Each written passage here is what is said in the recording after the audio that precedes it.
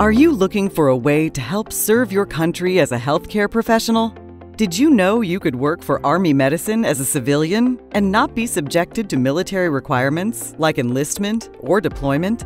Approximately 45,000 civilians make up 60% of the Army Medical Command's workforce playing a huge role in serving our country by caring for our service members. When you look at or even think about military, you think that's a big thing and it's very important because it says protection, it says safety, it says you're an important person. So um, being able to take information back saying, hey, you know what, this, this percentage of these people who you think are important or have this role in life could be you. That's motivating to me, you know, job wise and personally. The Civilian Corps has hundreds of job openings in 25 different medical, dental, and behavioral health professions.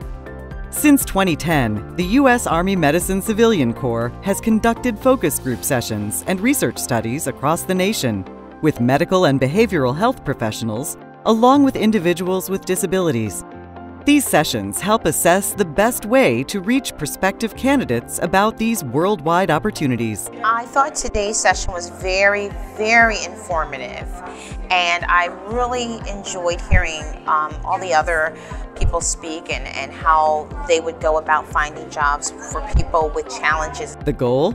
To get feedback on its marketing materials used for recruitment Focus group sessions allow participants to share their thoughts and ideas about the U.S. Army Medicine Civilian Corps website, along with the print materials used for advertising. You're able to gain more information, you know, obviously ask more questions. It's um, more on an intimate, that type of level for um, looking for a career. I had an opportunity to learn more about the types of people that I work with on a daily basis and in terms of what reaches them best and what are they most attracted to when they're um, seeing an advertisement. So for example, symbol versus um, using people's faces and what reaches to them and pulls them into something. Since the Civilian Corps implemented these focus group sessions and research studies in 2010, changes and improvements have been made as a result of the feedback.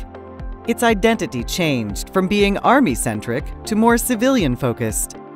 This is evident within its responsive website and in the messaging and images used for advertising the number of applications the Civilian Corps sees in a year has reached nearly 5,000. I like what, what you guys are doing with the Civilian Corps. I would like to be able to find a way to implement it into the orientations that I do. The U.S. Army Medicine Civilian Corps will continue to use focus group and research study findings to refine its recruitment campaign. To have someone come in from that big of an organization and say, hey, I want you to work, you can do this, let me see how I can help you. They're like, wow, really? So I think that's it's awesome.